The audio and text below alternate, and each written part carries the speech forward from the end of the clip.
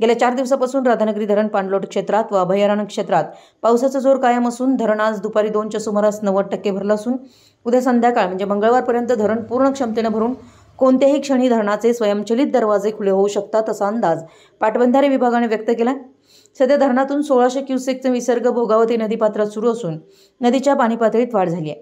त्यामुळे नदीकाठच्या नागरिकांना सावधानतेचा इशारा प्रशासनाच्या वतीने देण्यात आला आहे.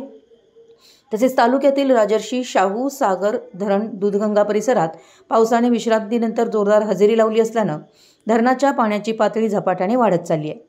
यामुळे धरणाच्या पाणीसाठ्याच्या नियोजनामुळे धरणाच्या पाच वक्राकार दरवाजातून चारशे तेवीस क्युसेक्स तसेच जलविद्युत केंद्रातून हजार क्युसेक्स पाण्याचा विसर्ग दूधगंगा नदीपात्रात केला जातोय.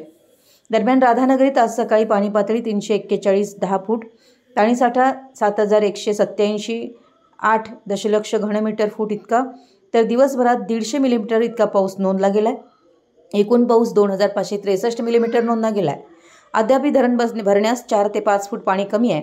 असाच पावसाचा जोर कायम राहिल्यास मंगळवारी सायंकाळपर्यंत धरणाचे स्वयंचलित दरवाजे खुले होऊ शकतात असा अंदाज पाटबंधारे विभागानं व्यक्त केला आहे मराठी एस न्यूजसाठी राधानगरीहून संजय कांबळे.